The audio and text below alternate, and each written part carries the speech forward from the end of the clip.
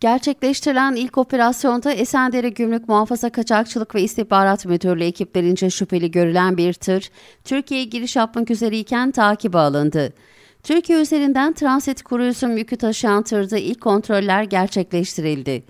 Ekipler tarafından X-ray taramasına sevk edilen araç üzerinde yapılan tarama işlemi sonrası şüpheli bazı görüntüler tespit edildi.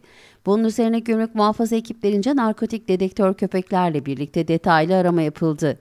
Gümrük muhafaza ekiplerinin hassasiyetle yürüttükleri aramada kuru üzüm ambalajlarının kartonları içerisine profesyonelce gizlenmiş uyuşturucu madde paketleri tespit edildi. Üzüm kutularının tamamı kontrol edildiğinde mukavvalar içerisine gizlenmiş toplam 58 kilogram afyon sakızı cinsi uyuşturucu madde ile geçirildi.